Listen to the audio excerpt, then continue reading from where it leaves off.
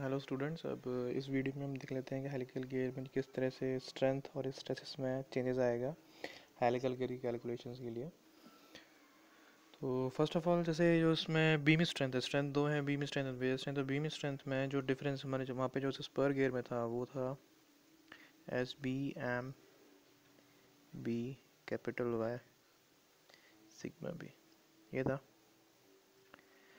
तो यहाँ पर डिफरेंस सिर्फ़ इतना ही है जो आपका हेलिकल गेयर में है, वो यहाँ पर क्या होगा? एम एन बी वही का वही। फॉर्म फैक्टर कैपिटल वाई है, वही का वही।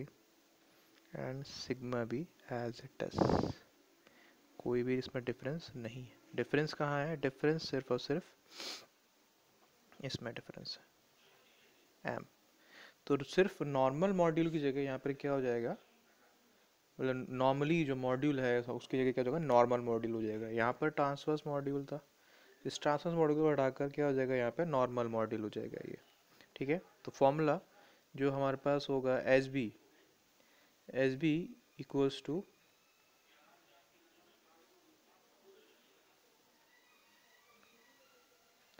S B M N M N होगा यहाँ पे। M N B sigma B Y ऐसा सब कुछ एज इट इज़ रहेगा।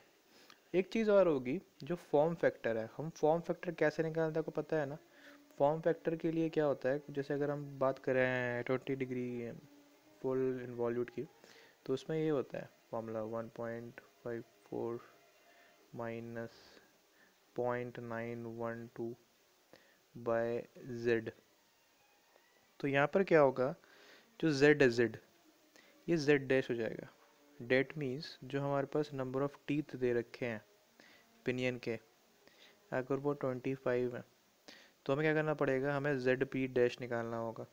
और जेड पी डैश मैंने बताया था, क्या आता है? Z P dash equals to Z P by cos cube psi ठीक है?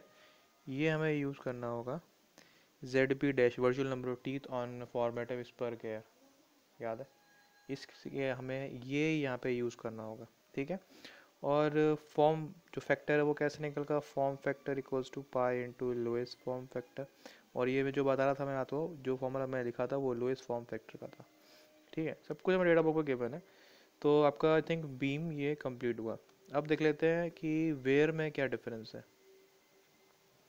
देखिए वेयर में जो वहाँ पर वेयर था, वो था सिंपल था।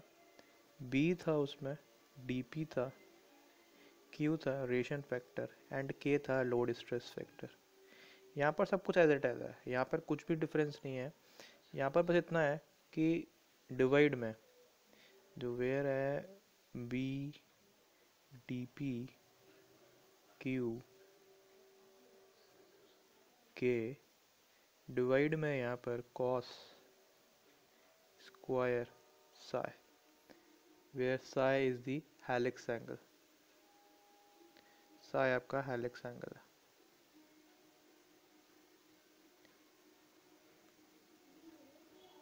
ठीक है?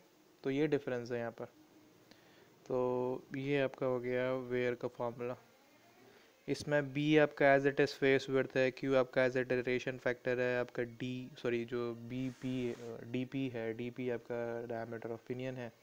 के आपका लोड स्ट्रेस फैक्टर है। अब लोड स्ट्रेस फैक्टर में जो डिफरेंस आएगा, जो के का फॉर्मूला हमने याद किया था, इस, ये हमने देखा था के का फॉर्मूला लोड स्ट्रेस फैक्टर का तो यहाँ पर जो अल्फ़ा था, यहाँ पे अल्फ़ा यान हो जाएगा। मतलब जो भी हेलिकल में है हेलिकल में नॉर्मल प्रेशर एंगल यूज़ करेंगे और इस पर गेयर में हम pressure angle transverse pressure angle use करेंगे। तो ये डिफरेंस रहता है कैलकुलेशन इन हेलिकल एंड इस पर गया। तो एक एक और के का फॉर्मूला था, वो एज एट एज उसमें कोई डिफरेंस नहीं है। अगर आपके दोनों स्टील हैं गिवन ओपिनियन तो आप ये यूज़ कर सकते हो। अगर बीच नंबर आपको गिवन है गिवन नहीं है तो अभी भी आप निकाल सकते हैं, ठीक है? ना हमने स्ट्रेस की बात कर ली तो हमने स्ट्रेंथ की बात कर ली, हम स्ट्रेस की बात करते हैं। तो स्ट्रेस के जो हमने देखे थे, दो मेथड थे। एक तो वेलोसिटी फैक्टर है और एक बकिंगम इक्वेशन है, ठीक है? तो वेलोसिटी फैक्टर में कोई भी डिफरेंस नहीं है। वेलोसिटी फैक्टर में आप simply P effective equals to C S upon C V into P T यही करते हो, आप यही करोगे, इसमें कोई भी डिफरेंस नहीं है। सेम चीज़ें ऐसी भी हैं, कुछ मतलब इसमें ज़्यादा भी इसमें डिफरेंस नहीं है, जो आपका इंक्रीमेंटल लोड बोलो या फिर जो आपका डायनामिक लोड बोलो, इस फॉर्मूले में भी कोई ज़्यादा कोई डिफरेंस नहीं है। बस इस फॉर्मूले में क्या हुआ है, यहाँ पर कॉस स्क्वायर साई का मल्टीप्लाई कर दिया और यहाँ पर कॉस साई का मल्टीप्लाई कर दिया। और आपको ये फॉर्मूला आपको याद नहीं करना है ये फॉर्मूला एज इट इज़ आपकी किताब में गिवन है। जब डेटा बुक है, उसमें गिवन है। अब हम देख लेते हैं डेटा बुक में ये सारे फॉर्मूलेस कहाँ कहाँ, कैसे कैसे गिवन है और उसको कैसे हमें यूज़ करना है। ठीक है? तो आपकी डेटा बुक खोल लेते हैं। जो डेटा बुक है,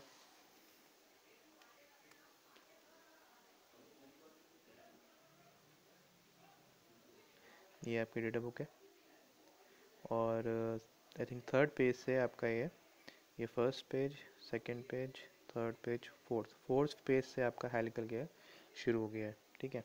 तो हेलिकल केयर के जो बेसिक बेसिक फॉर्मूले सब कुछ गिवन है यहाँ पर। कोई भी डिफरेंस नहीं है, थोड़ा सा एक देख लेना, यहाँ पे फेस विर्थ अगर कभी भी गिवन नहीं हो तो फेस विर्थ हमें twelve point five normal module ध्यान रखना, से लेकर ट्वेंटी नॉर्मल मॉड्यूल तक हम कुछ भी एज्यूम कर सकते हैं हेलिकल केयर के लिए, ठीक है? हेलिकल केयर के लिए। जनरली जो यूज़ किया जाता है इन दिस केस हेलिकल के हेलिकल गेयर केस में, अगर आपको फेड्स विद गिवन नहीं है तो हम अज्यूम कर लेते हैं नॉर्मली 12.5 नॉर्मल मॉड्यूल ये ध्यान रखना नॉर्मल मॉड्यूल ही होना चाहिए, क्योंकि हम जो भी यहाँ पे कैलकुलेशन करेंगे, वो नॉर्मल मॉड्यूल की ही करेंगे, ठीक है? सेकेंड जो आपको फॉर्मूला देखना था, मैंने बताया था एस बी जो यहाँ पे एफ़ बी गिवन है, वो एज इट इज़ यहाँ पर है। डिफरेंस क्या आ गया? सेम आपके नॉर्मल मॉड्यूल का डिफरेंस है। क्या डिफरेंस है यहाँ पे? नॉर्मल मॉड्यूल आ गया, ये देखिए, ठीक है? दूसरा जो आप यहाँ पे देख रहे होगे लोएस्ट फॉर्म फैक्टर इनमें भी एक ही चीज़ डिफरेंस हो गया यहाँ पर क्या हो गया जो आप यहाँ देख रहे हो जेड ई जेड ई आपने देखा यहाँ पे जेड ई e, तो जेड ई e क्या है ये आपका वर्चुअल नंबर ऑफ़ टीथ आ गए। क्या आ गए वर्चुअल नंबर ऑफ़ टीथ और जो जेड जेड ई है यहाँ पर वो फिर मैं बता देता हूँ वो क्या होगा Z upon cos cube psi एक चीज़ और, डाटा बुक में आप, मैं जो साई यूज़ कर रहा हूँ डाटा बुक में, वो आपके बीटा गिवन है, यानी ये आपका बीटा हेलिक्स एंगल दे रखा है इस डेटा बुक में, ठीक है? तो ये हेलिक्स एंगल जो आपको, जो वर्चुअल नंबर ऑफ़ टीथ है, वो आपको यहाँ भी गिवन है, ये रहा। यहाँ पर आपको देख, गिवन है कि Z E equals to Z upon cos cube B beta, ठीक है? तो सब कुछ गिवन है आपके डाटा बुक में। आप ऐसा कुछ भी याद नहीं करना। तो वेलोसिटी फैक्टर वेलोसिटी फैक्टर के लिए आपको अकॉर्डिंग टू दी वेलोसिटीज़ यहाँ पर फॉर्मूलेज गिवन है। सेम जिस तरह से वहाँ पे थे। ठीक है? और देखते हैं और क्या गिवन है। अब देख लेते हैं इसमें जो बकिंगम है। बकिंगम के लिए जो मैंने बताया था फॉर्मूला देखो यहाँ पे ये ऐड हो गया स्क्वायर का, यहाँ पे मल्टीप्लाई होगा कॉस का और अंदर मल्टीप्लाई होगा। इतना ही डिफरेंस है बट वो गिवन है पीरियड बुक में ठीक है? वेयर देख लेते हैं। वेयर वेयर नेक्स्ट पेज ये वेयर ये रहा, ये वेयर तो यहाँ पर भी क्या हो गया? डी पी दे रखा है बी दे रखा है क्यू रेशन फैक्टर दे रखा है के दे रखा है अपॉन आपको कॉस स्क्वायर बीटा यानी हेलिक्स एंगल ठीक है? तो आपका फॉर्मूला यहाँ पे ये गिवन है। यहाँ पे देखो ये इसने करेक्शन कर रखा है, यहाँ पे अल्फ़ा गिवन था तो अल्फ़ा एन कर लेना है उसको नॉर्मल प्रेशर एंगल है। ठीक है? हाँ ये चीज़ देख लेना क्योंकि मैं बता रहा हूँ आपको के के अगर आपको दोनों स्टील दे रखी है तो वही आपको यूज़ कर लेना है। सॉरी ये यूज़ कर लेना।